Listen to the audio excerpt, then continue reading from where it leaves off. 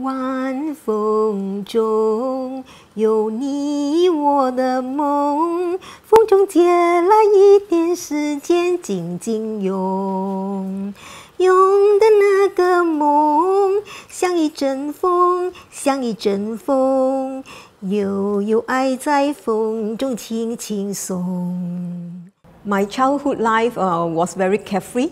I, being the firstborn, was allowed to do a lot of expressive things uh, like singing, being very outspoken. So I ran around and I like to sing songs to entertain my relatives. My dad loved music and he always carried me to the recorder, lifted my hand to start the recorder. And all this uh, exposure and involvement give me some influence. Some difficult songs, like the play is not straightforward, and the depth of the play inspired me, and I just love it.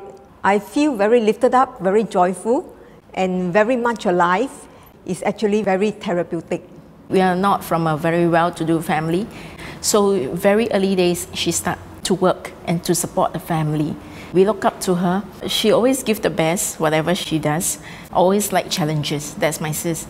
During my time, it's either be a teacher or nurse. So I just opted for nursing. We pass out as uh, staff nurses, full of challenges, a lot of sacrifice before self. I like because this profession gives me a lot of excitement. Come to frontline rescuing, especially field team for emergency like New Hotel collapse. I was attached to A&E in training. There's a helicopter pad landing where they will fly in all those stab wounds and all those emergency. Another place is a operating theater where I see lots of blood.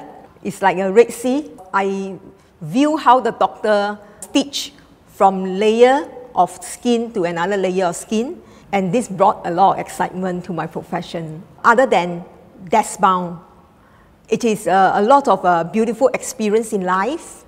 I love people even outside Singapore. I was teaching English in India and also in Mexico where the teachers are not so confident in giving them English lessons. Helping them, I feel rewarding.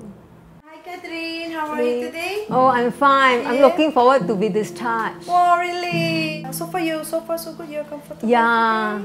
Oh, when we were very young, my mom passed away first in 94. She has cancer too. My dad, he has multiple stroke. He also passed on. In 2011, April, I was diagnosed with a stage 3A ovarian cancer. It's like, oh no, not again. I mean, to us, very shocking because oh, she's so young.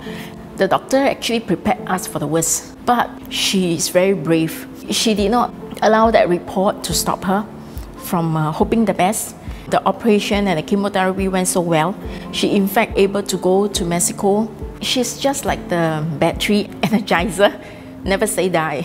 But three years later, I got a relapse to stage 4 peritoneal disease. And again, the doctors was telling us it's not good news and uh, prepare us for the worst. Her time has come, and she went for 22 cycle of chemo. So I was not able to eat, sleep, and drink a lot, only by taking sips of water because of the water bloating up. It worked for a while, and after that, it didn't work. I felt very depressed at the start. There was much grace to grace me along until now that I'm being sustained, that I watch each day at a time. Her courage, her boldness, the inner strength within that uh, help her to press on each time.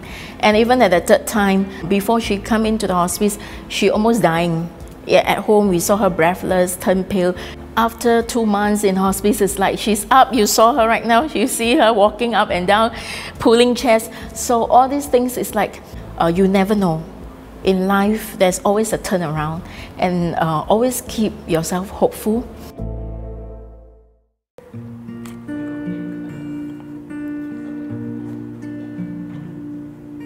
Somewhere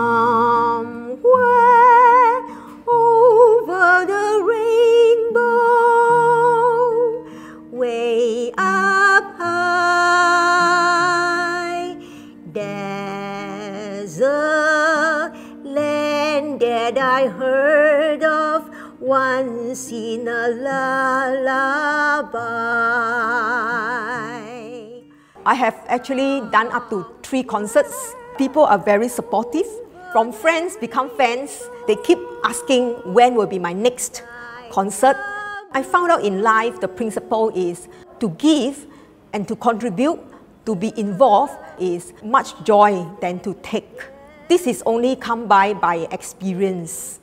Had me not gone into this diagnosis of a cancer survivor, I wouldn't have discovered. So I know my days are numbered. I just want to do whatever that is meaningful and purposeful. Uh, though I ended up in hospice and I just do whatever I can, I hope I can inspire people to live well and live to the fullest.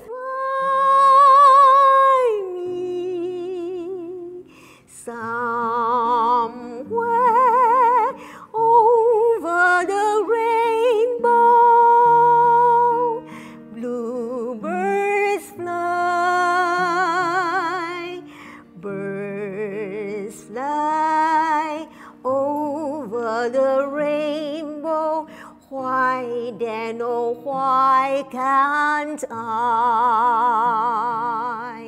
If happy little bluebirds fly beyond the rainbow, why, oh, why